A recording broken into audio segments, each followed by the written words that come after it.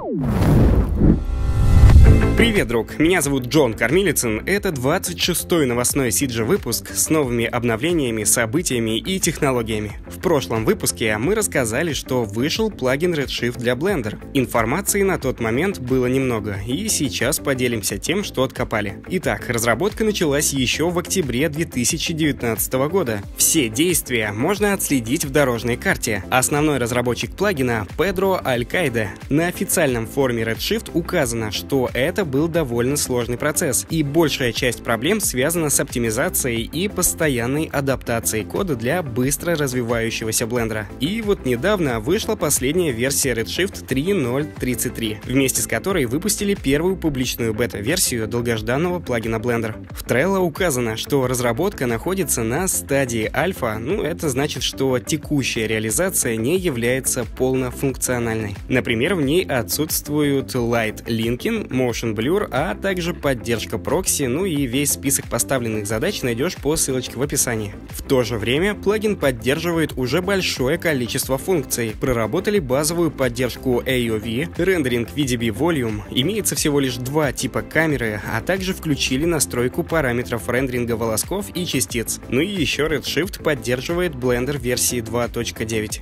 Инструкцию по установке найдешь в описании. Кстати, онлайн-документация Redshift еще не была обновлена для Blender. На данный момент бесплатная демонстрационная версия отсутствует. После выхода стабильного выпуска сделают новую демку, которая также будет включать и плагин для Blender.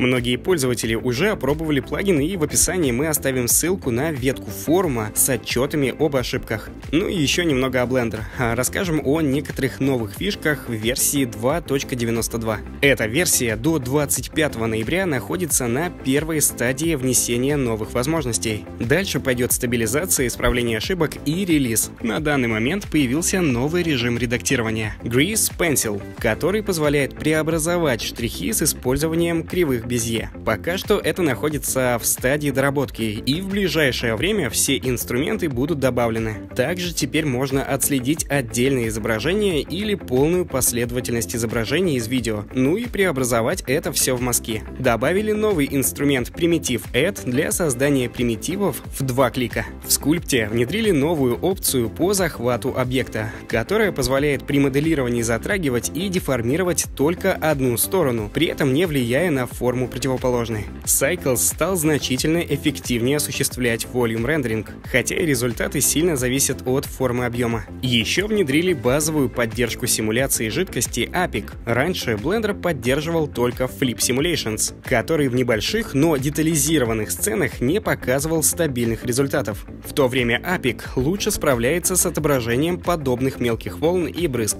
Ну и также ведется разработка инструмента для эластичной деформации сетки с помощью гизма преобразования. Ну и обновленная кисть Snake Hook теперь также поддерживает упругие деформации, что отлично подходит для рисования стилизованных фигур. Вышел Хаулер в версии 2021.2. Напомним, что в основной функционал программы входит создание цифровой живописи и анимации, а также обработка видео, композитинг и работа в 3D. Последнее обновление 2021.2 небольшое. Добавили новый фильтр эффекта искры, который можно анимировать. Внедрили инструменты для генерации аттрактора Лоренца, а это на заметку трехмерная система нелинейных дифференциальных уравнений первого первого порядка, да, вот так вот, друзья. Ну и еще улучшили панель управления анимацией и поддержку нескольких мониторов. В целом исправили ошибки и повысили производительность а то и объявили о выходе второй версии Octane Render 2020.2. Этот выпуск включает в себе все функции, которые будут частью окончательного стабильного выпуска 2020.2. Сюда входят исправление проблем, о которых сообщали в предыдущих сборках, а также парочка новых функций. По ссылке в описании найдешь все подробности.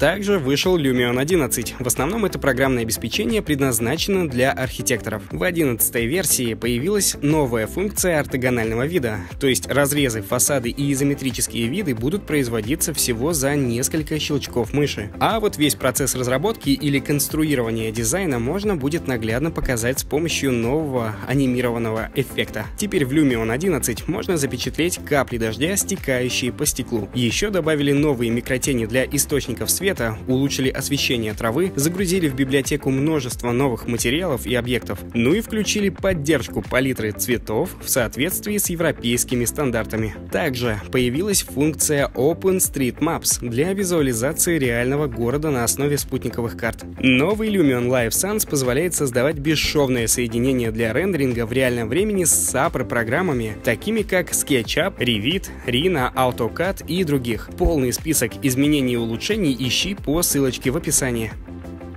Компания Motiva CG обновила Layama. Это инструмент для преобразования стандартных сцен 3ds Max, Blender 3D и Unreal Engine в псевдо-VR пространство, которое позволяет просматривать сцену на 360 в реальном времени. То есть это что-то среднее между панорамным туром и VR. Layama создает веб-страницу, которую можно разместить на собственном сервере. В версии 1.2 выпустили поддержку альтернативных сцен, добавили новые режимы и настройки управления камерой, ну и в целом исправили исправили ошибки.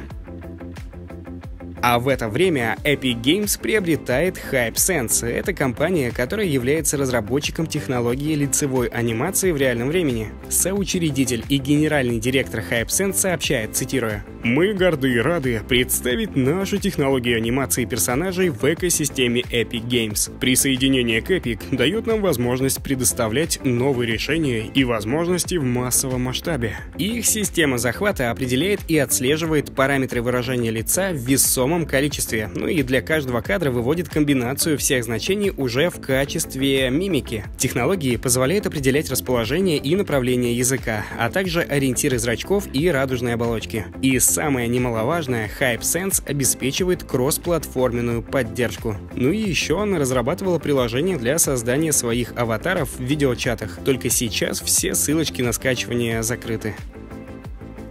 Autodesk разработал новое расширение Docs Extension для AutoCAD. Приложение доступно в Autodesk App Store. Оно позволяет передавать листы чертежей SAPR в виде файлов PDF непосредственно из AutoCAD в BIM 360 Docs, ну или Autodesk Docs, который появится в 2021 году. Также можно будет подключаться к файлам, хранящимся в облаке непосредственно из веб-приложения AutoCAD. Ссылочка в описании.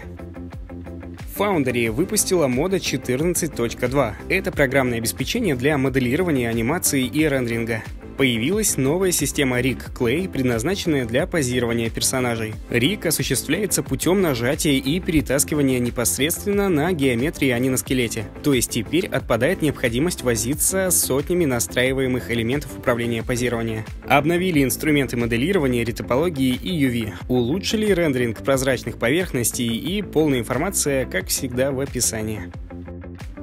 Лакшин объявила о выпуске рендера Keyshot 10. Напишите, пожалуйста, в комментариях, кто им пользуется. Внедрили новую анимацию по ключевым кадрам, которая обеспечивает контроль над временной шкалой с возможностью добавлять и настраивать ключевые кадры именно там, где они нужны, ну что подходит для создания сложных визуальных эффектов. Добавили инструмент Sun Sky Day Arc Animation, ну вот так вот незамысловато, для более точного управления анимацией дневного света в сцене. Также улучшили environment Environment Rotation, который обеспечивает полный контроль над вращением среды. В настройках камеры появились новые режимы. Новый Light Manager позволяет регулировать освещение окружающей среды или управлять видимостью, цветом, мощностью и размером любого физического источника света всей сцены из одного места. В Real Close среди улучшений это 3D Ply для создания нитеподобной геометрии и увеличенная детализация на уровне волокон. Материал K-Shot Toon теперь обеспечивает более точный точный контроль над поведением контуров, ну, чтобы он больше соответствовал технике рисования линий. И это, конечно, не все улучшения. Руководство по использованию и остальные изменения найдешь по ссылочке в описании.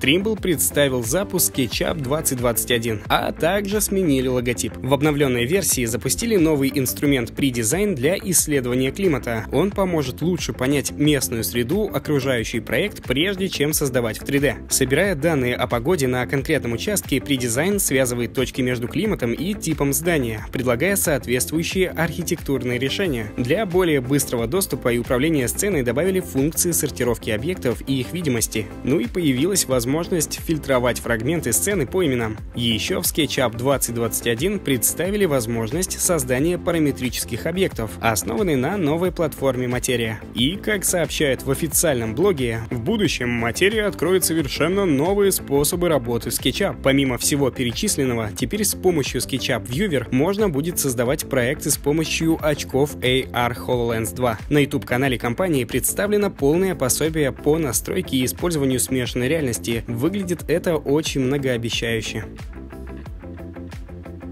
команда Baris FX выпустила Mocha Pro 2021. Mocha — это программное обеспечение для планарного трекинга, то есть такие алгоритмы отслеживания работают на жестких поверхностях и предназначены для вставки или замены поверхности. В Power Mesh Tracker добавили новую опцию Mesh, а это означает, что отслеживание больше не ограничено плоскими твердыми плейнами. Также появилась новая функция стабилизации для корректировки области при деформациях. Обновили модуль Adjust Track, который позволяет вручную корректировать точки трекинга. Добавлена возможность экспорта данных в формате Alembic и представлен встроенный редактор Python. Ну и, как всегда, исправили множество ошибок и улучшили производительность. Red Giant обновила Magic Bullet Suite 14.0. Напомню, что это набор инструментов для обработки и цветокоррекции в After Effects и Premiere Pro. Final Cut Pro на данный момент не поддерживается, как обычно. В обновлении инструмент цветокоррекции Lux получает набор новых инструментов. Подключаемые модули Color Grading содержат функции переназначения цвета и HDR-градации. Представили новый Color Remap. И как отмечают разработчики, цитирую, «Это первый в своем роде корректор, который позволяет легко сопоставлять различные цвета». Ну, разработчики постоянно делают какие-то громкие заявления, которые вовсе не кажутся громкими. Обновленный инструмент упрощает упрощает цветовую палитру видеоряда, к которому он применяется. Происходит это путем объединения похожих оттенков. Обновили колориста для работы с HDR. Еще отметим, что Maxon изменил правила приобретения лицензии. Все подробности найдешь по ссылочке в описании. Обязательно посмотри делимся с вами очередным бесплатным контентом. По ссылочке в описании ты найдешь несколько паков с деревьями, а именно японским кленом, елью, вишневым деревом и березой. А также там есть еще парочка интересных наборов. Большинство моделей имеют PBR-текстуры в разрешении 4К и представлены в форматах FBX и Blender. Спасибо, друзья, за просмотр.